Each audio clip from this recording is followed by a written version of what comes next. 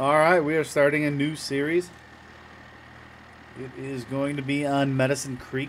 Uh, it's going to be a family farm.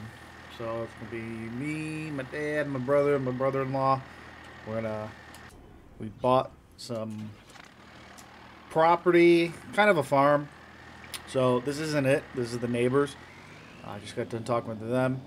Um, we actually bought it from them, and it used to be their parents' house and building, uh, and it had some of their old equipment that they no longer use. So we bought it all as a whole.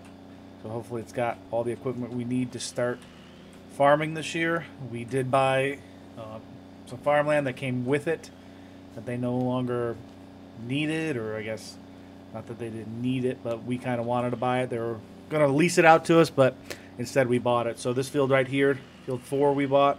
The grain bins weren't theirs, but we did buy those. Uh, they were for sale. They were trying to buy them themselves, but we luckily were able to put a little higher bid on there. So we did get those grain bins, uh, which is a positive. But we got field four, which surrounds those grain bins. We got field five, and then when we cross the creek, we will have the other field here uh, on our left. So not that much farmland, but at the same time, we don't really have that much equipment, so I think it'll be plenty for us. Whoa. Almost put her in the ditch right there.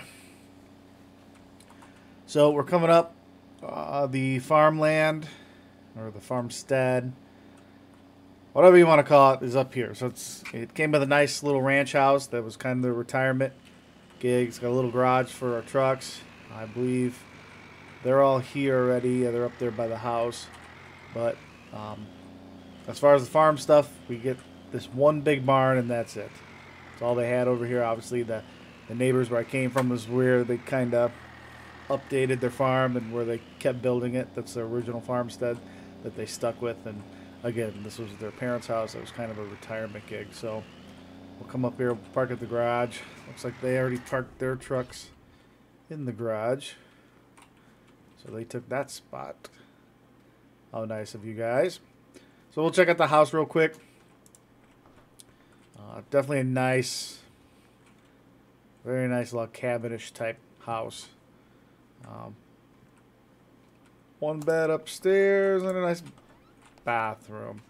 So, um,